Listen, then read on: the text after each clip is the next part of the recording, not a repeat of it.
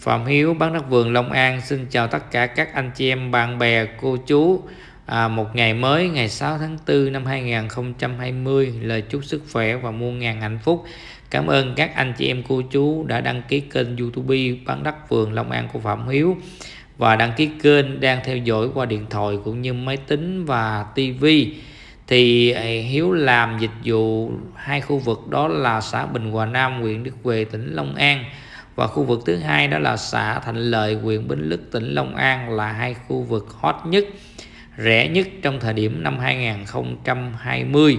và văn phòng dịch vụ nhà đất của Phạm Hiếu nằm tọa lạc tại ngã tư đèn xanh đèn đỏ của quốc lộ N2 và đường tỉnh lộ 816 anh chị em cô chú quẹo vào 20m 816 nhìn bên tay trái thấy văn phòng của Phạm Hiếu và hôm nay Hiếu xin chia sẻ cho các anh em là Hiếu đã giới thiệu thành công một dịch vụ mua bán nhà đất tại xã Thành Lợi, huyện Bến Lức, tỉnh Long An. Sẵn đây phương tiện Hiếu làm cái clip đăng lên YouTube cho các anh chị em được biết về dịch vụ mua bán nhà đất như sau. Thì khi các anh chị em có nhu cầu theo dõi trên kênh YouTube của Phạm Hiếu bán đất vườn Long An qua YouTube thì các anh chị em gọi cho Hiếu là 0913871833 số rất là quen thuộc mỗi ngày mỗi tuần anh chị em đã gọi và hẹn Hiếu trước một ngày để đi xuống Long An xem đất công, đất mẫu, đất nền, đất mét, đất làm nhà vườn, biệt thự vườn, trang trại vườn hoặc là mở kho xưởng. Thì hôm nay Hiếu dẫn cho các anh chị em cô chú được biết là người thành phố Hồ Chí Minh đã mua một mẫu đất à, để lập nhà vườn trang trại thì đất trồng cây lâu năm. Thì khi đã uh, hợp nhãn hợp nhĩ rồi trở lại văn phòng của Phạm Hiếu và nhờ Hiếu gọi người chủ đất ra để làm giấy đặt cọc mua bán thì hai bên đã trao đổi thống nhất với nhau tiền cọc cũng như thời gian công chứng rõ ràng. Thì bên Phạm Hiếu viết giấy đặt cọc cho hai anh chị em của mình là lăng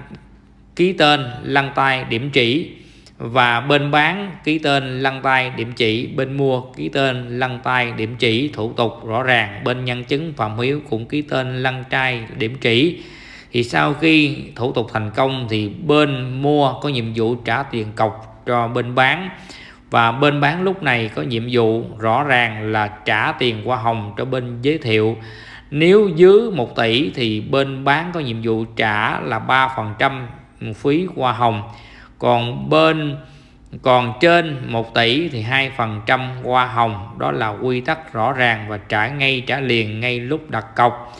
Và đặc biệt là bên mua không có trả tiền hoa hồng. Nếu cảm thấy thơm thảo thì tùy hỷ cho bao nhiêu thì bên Phạm Hiếu xin bấy nhiêu, còn không cho cũng không sao. Sẵn đây Hiếu cũng xin chia sẻ rõ ràng. Và bên nhân chứng của Phạm Hiếu có nhiệm vụ rằng nhắc nhở cho bên bán giữa bên mua là ngày tháng công chứng rõ ràng uy tín chất lượng sổ hồng chính chủ, nghe các anh chị em. Đó, thì ra công chứng rồi thì bên dịch vụ của Phạm Hiếu, nếu các anh chị em có muốn nhờ đăng bộ sang tên thì Hiếu nhận, Hiếu làm.